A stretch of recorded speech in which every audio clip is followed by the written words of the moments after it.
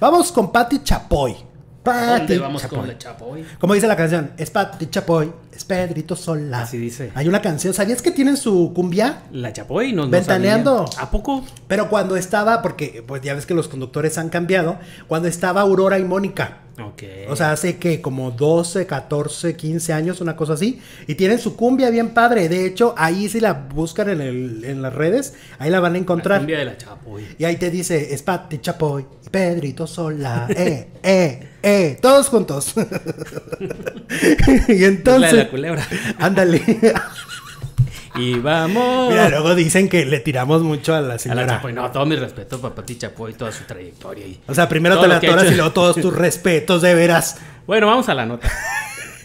Pues se nos enojó Pati Chapoy en las redes. También igual que Mónica Garza. Digo, yo no sé, oye, a ver, ¿qué no se supone que el sábado, oye, el domingo son los días de descanso? Los días que estamos todos más contentos, ¿no? Porque estás en tu casa, Feliz, este, contento. ajá, tranquilo, sin presión alguna.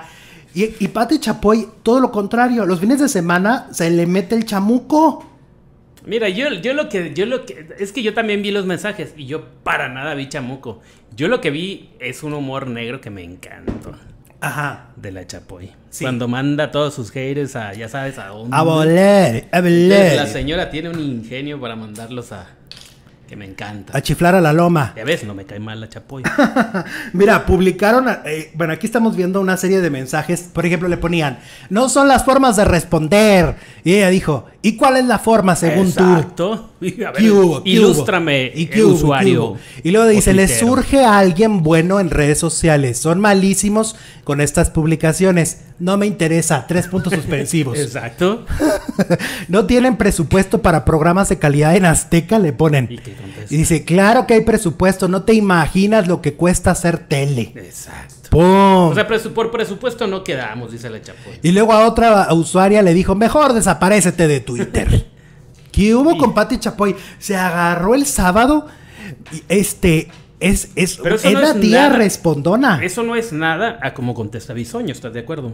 Contestaba. Ah, contestaba, porque ya Bisoño No, Bisoño ya es, la madre Santo Teresa.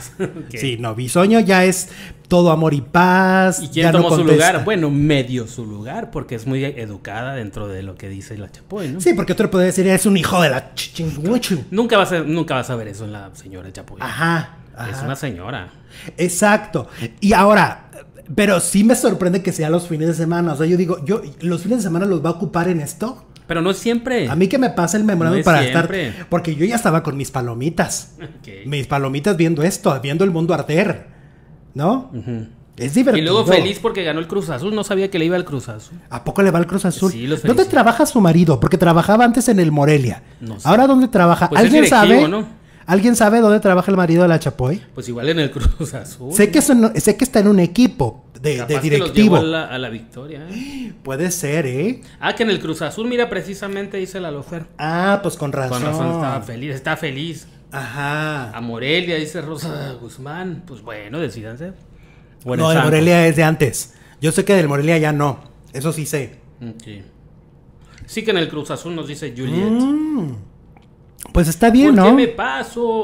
¿Qué? Ok, Que, que me paso, dicen mis friends. ¿Qué te pasaste? Jesús, ¿De qué que, te se acabe la pandemia, vamos a Disney, dice Luisito. Ay, Luisito, me diste la pata de palo. Amo Disney. Cuento los días. O sea, ya va a estar ahorita con la maleta ahí en el aeropuerto. Vámonos todos a Disney, por favor. si no saben escribir, por favor, no lo hagan, dice Osvaldo Castillo. Ah, caray. Ah, caray. ¿A quién te refieres? ¿Y ahora qué pasó? ¿Ahora qué pasó? Es presidente del Cruz Azul, nos dice Norma Andrea. ¡Órale! O sea, Muy bien. picudo el señor y lo llevó a la victoria, genial, después de 24 años, ¿no?